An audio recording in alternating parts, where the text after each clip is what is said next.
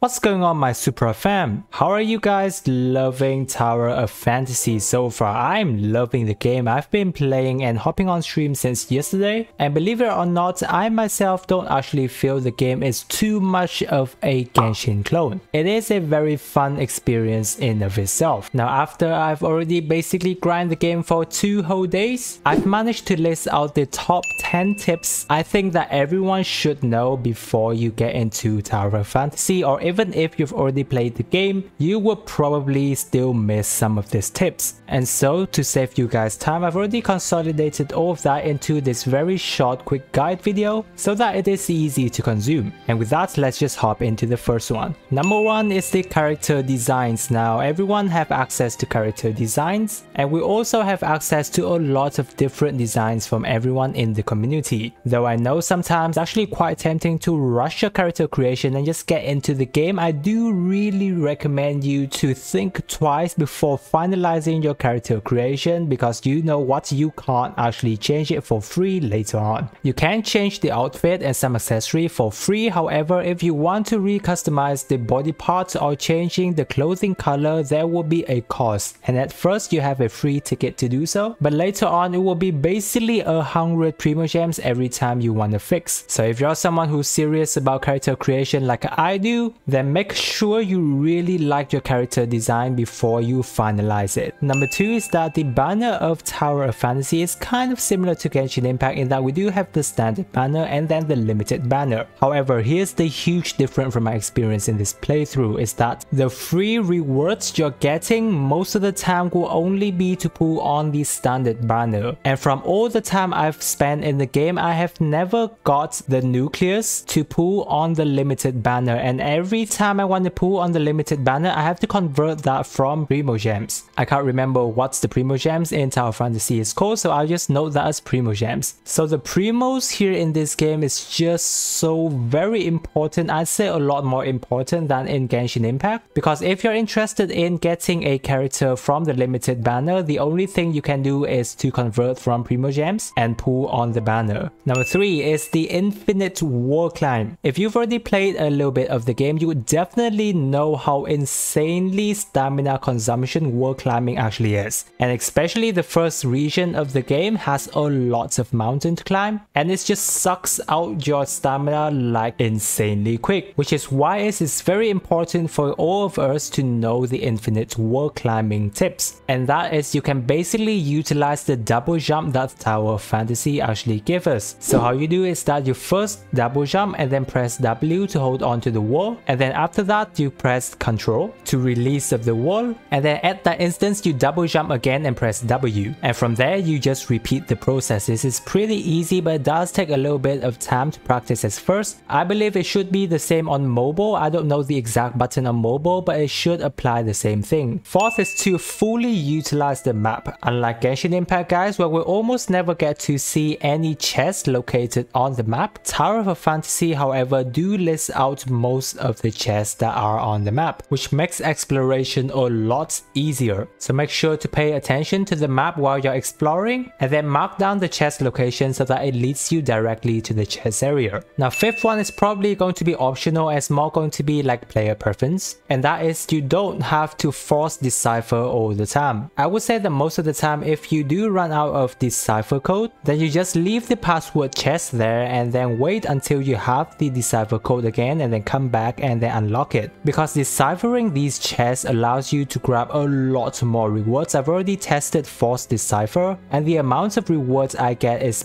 basically a lot less. So I don't really feel that's actually worth it for you to Force Decipher and then just save the chest there until you have the more decipher code. Now this is kind of optional because these chests do respawn. So many could say that even if you Force Decipher, you can always have the chance to decipher them again next time they respawn. But for me, I'll just leave them there and then decipher them the next time I walk across them when I adventure. Number 6 is to always have fire weapon. This is so important guys. Fire weapon at an early games or at least till this point in time where we play is just pretty overpowered because most of the monster that we came across don't have resistance against fire. So that first of all is already effective while we play the game. But not only that, a lot of the puzzle or the chests that gives us black nucleus requires us to use fire weapon. And then you actually come across a lot of those during world travel. So you always want to spare a slot for fire weapon, otherwise you would always have to go back into your weapon inventory and swap them out. Number 7 is utilize relic sets. I know that at the start of the game you may not pay too much attention to relics, however it is very handy and it's also very easy to use because you have the relic sets. You have up to 3 sets and there is a hotkey for you to press which is the G key on your keyboard and then you can instantly switch to your next set using that. Usually I have a set for my overworld travel and I have a set to deal damage and the only thing you need to do is just press G and then you can already easily switch. So be sure to set it up and utilize it to its maximum extent. Number 8 is the selection box. In your backpack,